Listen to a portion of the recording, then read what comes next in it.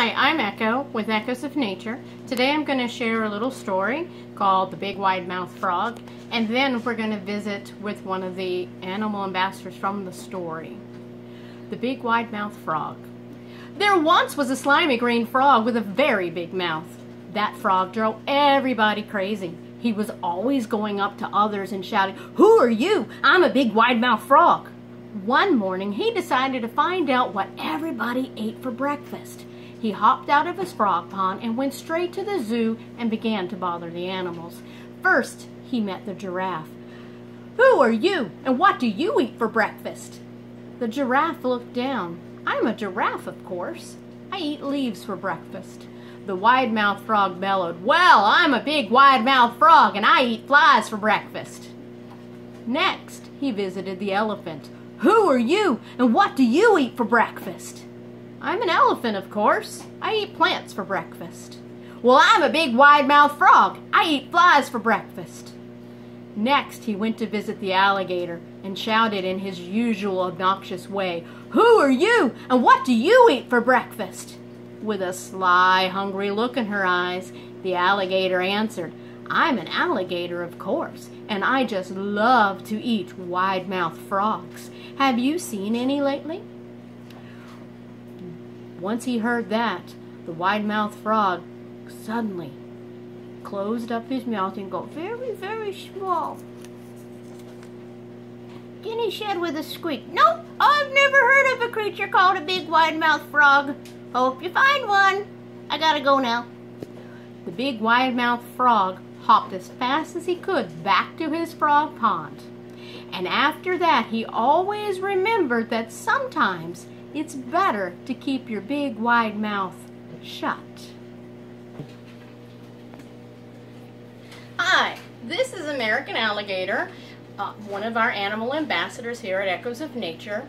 She is actually on loan to us from the Maryland Reptile Conservation Center. And if you take a look at her, I know she's an alligator because she's got this U-shaped mouth, snout. Crocodiles would have a pointier V-shaped snout. If you take a look, she's got some awesome adaptations to look at. She's got her eyes up on the top of her head. And when she's swimming, she might just have her eyes above the water and part of her back, and she'll look kind of like a floating log. If you take a look at her feet, little skinny finger hands, she has some webbing between her back toes, but she doesn't actually use those feet for swimming like a frog would, like the big mouth frog from our story. She actually uses her tail to help her to propel through the water. She also has very sharp teeth and an American alligator would eat frogs. Wouldn't matter to her if they were big mouth or small mouthed. She would also eat fish. And when she was younger, small insects and, small other invertebrates, small mammals. At this size, she's going to eat small mammals, fish, frogs, snakes, and at full grown, they can take down deer, raccoon, opossum, she is a young one. She's probably about between six and nine years old. Um, she came to us on loan because she was a confiscation. And because of that, she's never going to be able to go back into the wild. And once she is too big for us in our facility, she'll go back to the Reptile Conservation Center to continue education programs.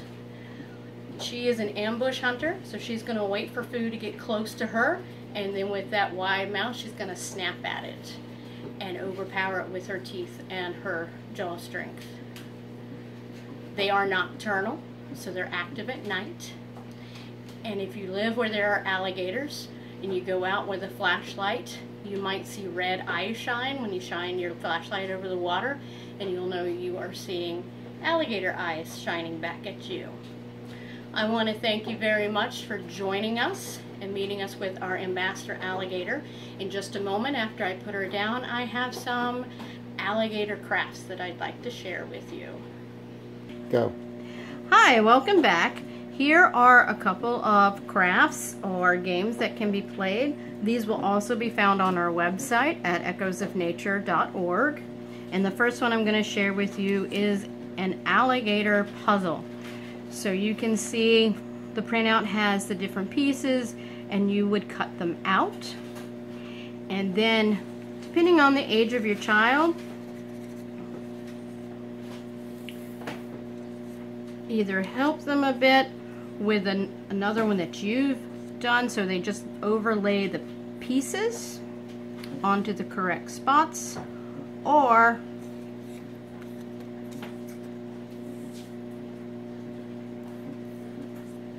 have them work it out as well.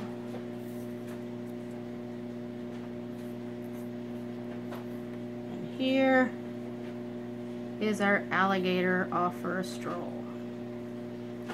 So I'm going to move this over. And then the next one has a couple of different ideas that you can do with it. So I found a letter A that I could print out and we can give, so I'm going to turn him this way. You can glue on his eye. Glue on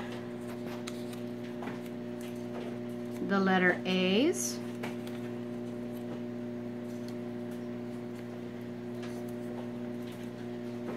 And then add some pointy sharp triangle teeth. And of course you can color your alligator any way you want to.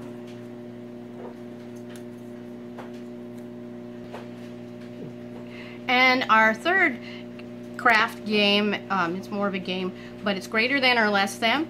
And they talk about the greater than, less than, the wide end of the greater sign being the alligator mouth so he could chomp his food. So there is a greater than, less than page on the website. And there's also a game that you can play so you don't need to print this out if you don't want to. So I have four pink squares and I just have used some of our foam craft beads that we use for our projects. You can use anything, whether it's beans or pennies, rocks, acorns. So I have four pink squares on this side and I have five blue squares on this side. And think about which side has the most pieces. And that would be 5 is greater than 4. So you can take your hand and make your alligator sign. And it would eat up all the 5 squares. I can also do different shapes. So I have still the 4 pink squares. And now I have 3 blue hearts. Think about which side has the most. So that would be this time the four pink squares and I would make my greater than sign going this way where it would try and eat all four of the pink squares.